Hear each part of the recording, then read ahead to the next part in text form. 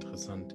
Ich bin ja, ich habe gehört, in meinem Kopf stellt, bildet sich so eine Frage, das ist wahrscheinlich ja so ein homöopathischer Ansatz, äh, sich da ursächlich mit zu beschäftigen. Ich habe mich gerade gefragt, warum wir denn so bereitwillig, am Schluss ist die Antwort wahrscheinlich individuell, aber warum wir so bereitwillig automatisch in das andere hineingehen, in die Haltung des Versagens.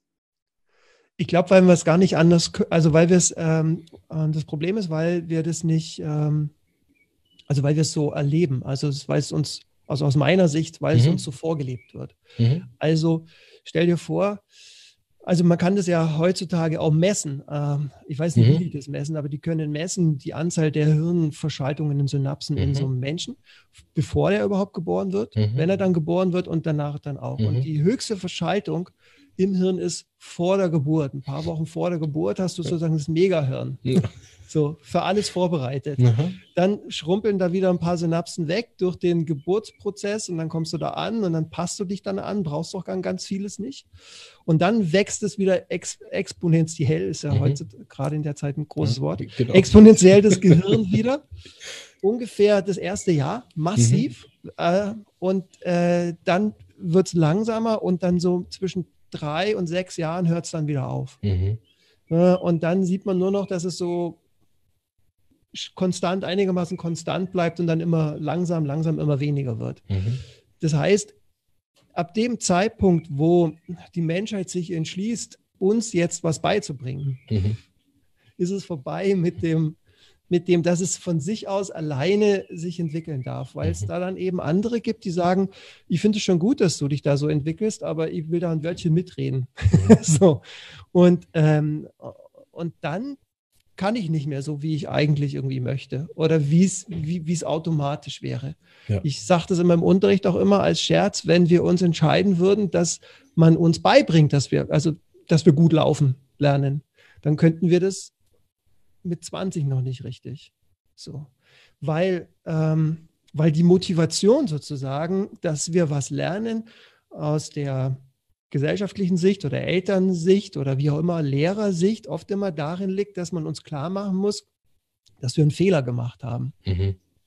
Und, ähm, und, äh, und wir erstmal aus die, die diesen Fehler sozusagen zugeben müssen oder sehen müssen. Und dann daraus können wir jetzt dann irgendwie was, ähm, mhm. ja, wie soll ich sagen, irgendwie was, was lernen. Ja. Und äh, was aber äh,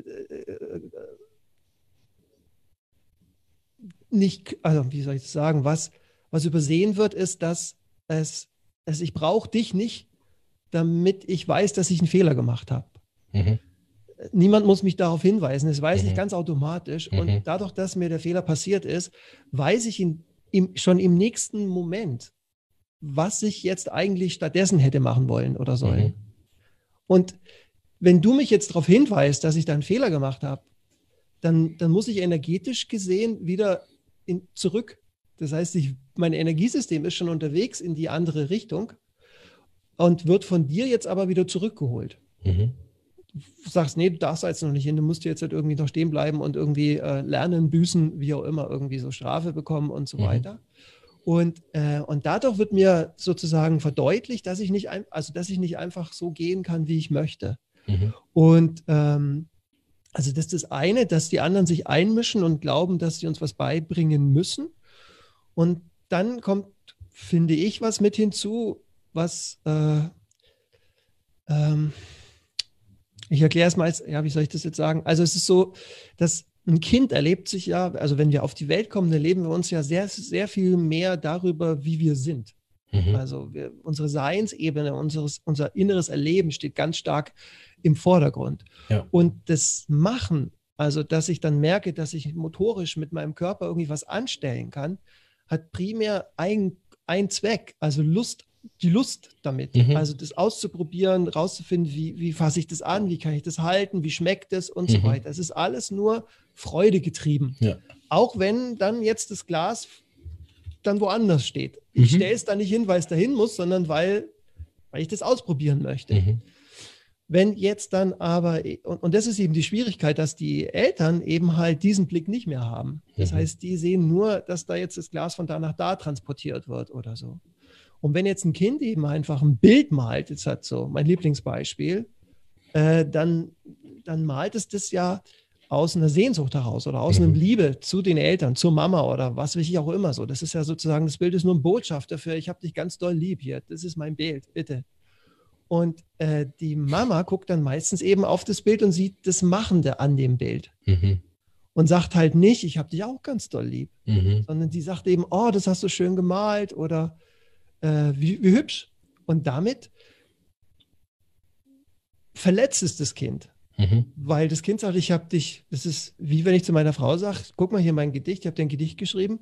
Und dann sagt die, das ist nicht schlecht formuliert dann, dann verstehst du, dann fühle ich mich eben nicht gesehen, ich fühle ja. mich verletzt. Und, dann, und das passiert auf der Ebene ganz oft. Mhm. Und was wir dann anfangen, ist, dass wir dann eben uns anpassen. Das heißt, wir sagen, okay, das, was wer ich bin und das, was in mir passiert, ähm, das ist scheinbar nicht so wichtig. Das, das, das seht ihr nicht. Ihr seht mhm. nur das, was ich eben mache. Und damit ich eben eine Reaktion bei euch bekomme, die angemessen ist, muss ich jetzt eben rausfinden, was findet ihr gut, was ich machen soll. Mhm. Und dann mache ich das so dass ihr das gut findet. Und wenn ich aber nichts mache, bin ich, nicht, bin ich nicht existent. Das heißt, ich erlebe mich nur noch, also dann als für euch anwesend, wenn ich was tue, was ihr gut findet. Mhm. Und damit existiere ich nicht mehr, wenn ich nichts mache. Das heißt, die Liebe, die ich von euch bekomme, bekomme ich nicht mehr wie anfänglich bedingungslos, einfach so, sondern ich bekomme die nur noch, wenn ich eben Dinge mache, Mhm. die in euren Wertekontext irgendwie gehören. Und daher kommt diese Haltung. Das heißt, wenn ich nichts mache, dann seht ihr mich nicht. Genau. Äh, dann kriege ich nichts. Also muss ich was machen, damit ich von euch Liebe bekomme. Und das ist die Haltung des Scheiterns. Ich mache es nicht, also ich, ich mache es, damit ich Liebe bekomme, weil ich sie sonst glaube, nicht ja. zu bekommen. So ist meine Erklärung. Ja. Und scheinbar, das ist ja das, äh, was mir auch immer auffällt am Gehirn, dass es dann auch brav mitspielt. Ne? Ja. Also es bestätigt ja auch die Haltung dann im Außen ständig, Absolut. weil ich ja. dann wahrnehme, oh, ich habe eine Arzneimittel gegeben, es wirkt nicht, ich habe also offensichtlich einen Fehler gemacht. Und jetzt muss ich ja. den korrigieren und so springe ich immer wieder zurück. Ne? Ja. Also das Gehirn spielt auch wie mit und dann habe ich mein eigenes Empfinden, was das bestätigt. Absolut. Und das ist eben halt die Schwierigkeit im Anamnese, also aus meiner Sicht im Anamneseprozess, dass wenn du dann eben da, sagen wir mal, dann gestresster wirst, so, ne, dann nimmst du nicht mehr gut wahr. Das ja, heißt, genau. dann, dann funktionieren deine Spiegelrenonen nicht mehr richtig gut. Du nimmst nicht mehr richtig wahr, was beim Patienten abgeht. Mhm. Dadurch kannst du Dinge nicht mehr richtig beurteilen. Mhm. Und dann stellst du nicht mehr die richtigen Fragen zum richtigen mhm. Zeitpunkt. Du hörst die Antworten nicht mehr so richtig. Irgendwas schiebt sich da dann dazwischen. Mhm. Und dann, dann, dann ist vorbei mit einer guten, mit einer guten Anamnese. Ja, genau, korrekt. So, ne? ja.